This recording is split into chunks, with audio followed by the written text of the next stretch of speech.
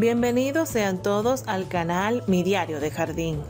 Los beneficios de las plantas son muchos y si guardamos las facilidades de reproducción y cuidados y cultivos es sumamente importante considerarlo para poder cultivar nuestro jardín de manera que nos sintamos felices. Colocar todos estos tips en nuestro diario es lo que nos facilita tener los datos asequibles para que nuestro jardín luzca como debe. El acto de cuidar una planta nos alegra y trae relajación ante todo aquello que pudiera causarnos descontento. Por ello siempre les digo que la jardinería debe trabajarse por placer y no por deber. Y si es por deber, que sea gratificante. Te quiero mostrar en este video instructivo cómo he reproducido alguna de las plantas de mi jardín, cómo verlas bonita en el jardín. Te muestro los cuidados de esta u otras plantas. Espero que te guste el video.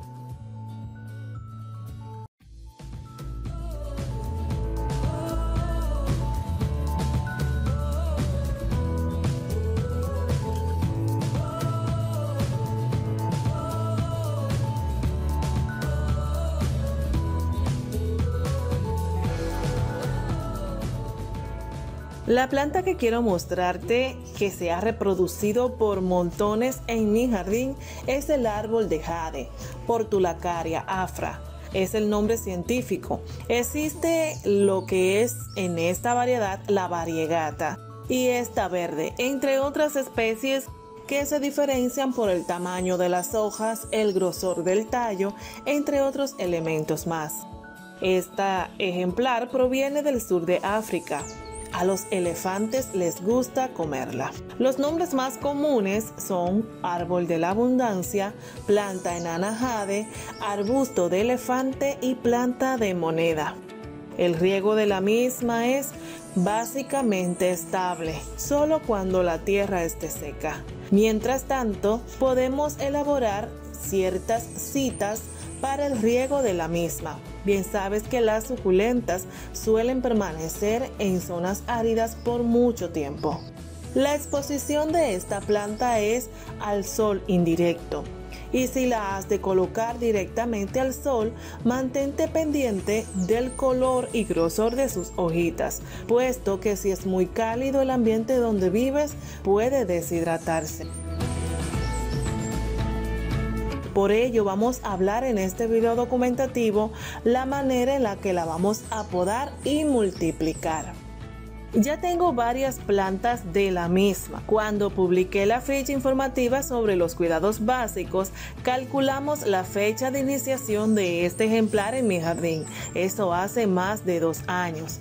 Lo grande y hermosa que está se debe a varios factores. Por eso voy a responderte cinco preguntas para que puedas lograr conseguir los cuidados y cultivos de manera fácil de este ejemplar. ¿Qué tiempo tiene conmigo? Como ya te había dicho anteriormente en las características de esta planta, básicamente tengo dos años con ella está bastante grande.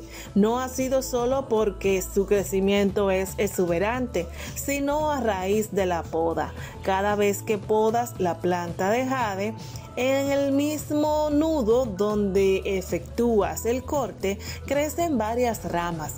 Por eso es importante tomar en cuenta el tipo de poda que le hacemos a estos ejemplares. Ella crece considerablemente, a diferencia de las otras crasuláceas. El árbol de jade necesita cierta cantidad de luz y riego para prosperar. Por esto, durante los dos años he ido elaborando la ficha documentativa que a mi experiencia me ha ayudado con esta planta. Te hablaré de lo siguiente. Número 2 cuáles son sus mejores épocas y de cuál o cuáles debo cuidarme. Básicamente la mayoría de las plantas suculentas le gustan las épocas cálidas. Estas son las que desprenden primavera y verano. La puedes regar una vez por semana o en primavera, básicamente notando que el sustrato esté fresco pero no encharcado. En zonas húmedas entonces debes cuidarla de los inviernos.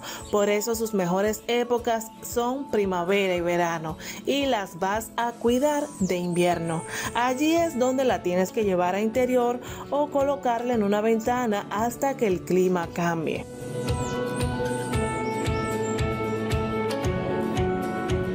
Tercero, por la facilidad de su reproducción. ¿Cómo es que has llegado a tener tantas de la misma? Bueno, esta pregunta básicamente eh, me la han hecho muchos suscriptores porque aunque suele decirse que es de fácil reproducción, he llegado a tener muchas de la misma debido a que el suelo es el adecuado y el ambiente en cuanto al cultivo es el adecuado.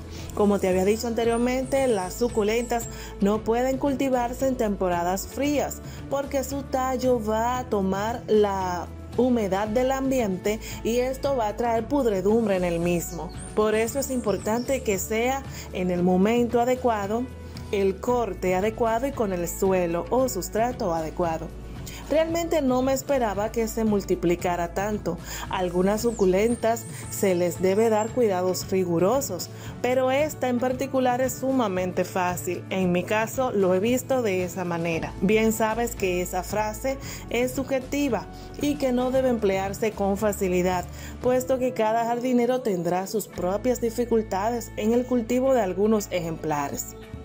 Por ello me he interesado en crear esta ficha de reproducción donde pueda mostrarte la facilidad de multiplicación de las plantas del jardín. Esta planta por supuesto necesitará que le cortes esquejes de 4 centímetros en adelante y que lo coloques en un suelo adecuado. Este procedimiento está sujeto como te había dicho en las épocas de primavera debido a que durante el reposo la planta no debe manipularse para evitar plagas de la misma. Cuarto, al reproducirlas, ¿cuándo debo trasplantarlas? La planta de jade, luego de que cortas los esquejes de 4 centímetros en adelante y lo coloques en suelo adecuado, se convertirá en una plántula al promedio de 15 días. Ya echará nuevas raíces y estará adecuada para realizar los elementos que tú quieras hacer en tu jardín. Bien sabes que con este ejemplar, esta grasulácea, se pueden elaborar souvenirs para eventos y también puedes realizar pequeños detalles para regalar o engalanar tu jardín o el área de las suculentas o crasas. Este tipo de planta es muy utilizada en terrarios, puede ser cultivada para ser colocada incluso en botellas. Es sumamente bello lo que puedes realizar con esta portulacaria. Número 5. ¿Qué podría ser difícil al cultivar esta planta? Según les comentaba anteriormente, cuando empecé a cultivarla, les decía que si tiene el borde rojizo es porque está expuesta a demasiada cantidad de sol. Esto es uno de los atributos que debemos considerar en este tipo de suculentas. El riego abundante también puede llenar su tallo de humedad y podrirse o contraer hongos, así que lo favorable es establecer el horario de riego para este tipo de plantas o regar solo cuando el sustrato esté seco. Otro asunto de importancia es mantener la planta en su óptima cantidad de humedad, es decir, en cuanto de ti dependas, no le riegues demasiado. Inclusive no riegues las hojas o los tallos, solamente el suelo. Otro asunto de importancia que es bueno colocar en esta ficha documentativa es darle forma a la planta. Te decía al principio que una de las razones por las cuales crece desparramada o algunas ramas donde no debe es por la poda. El saber dónde cortar y cómo hacerlo es indispensable. Es como peinar la planta cada cierto tiempo. La portulacaria afra es una planta con múltiples formas. Para hacerlas crecer, debes permitir subir más la cúspide de la misma así se hará más alta.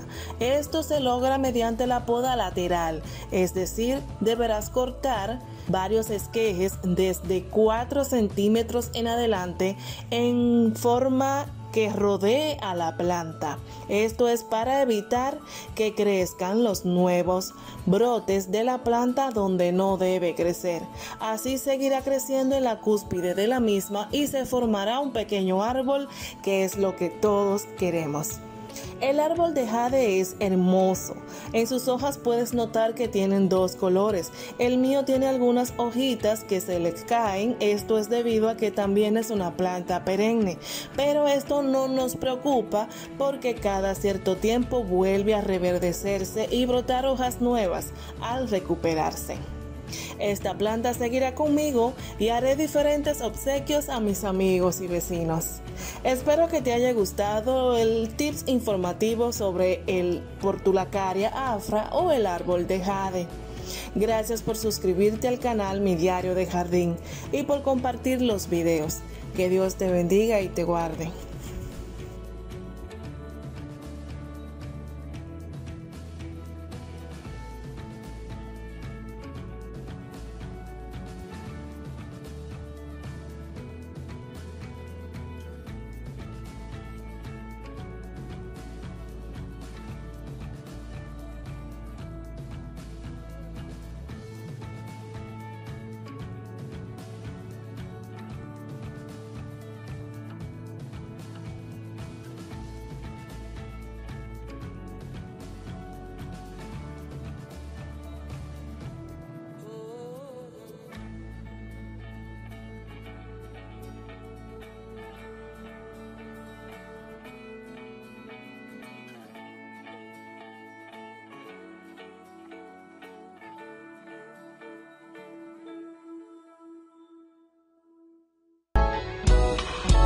Si te ha gustado este video, dale like, suscríbete y clipa la campanita para recibir más videos como este.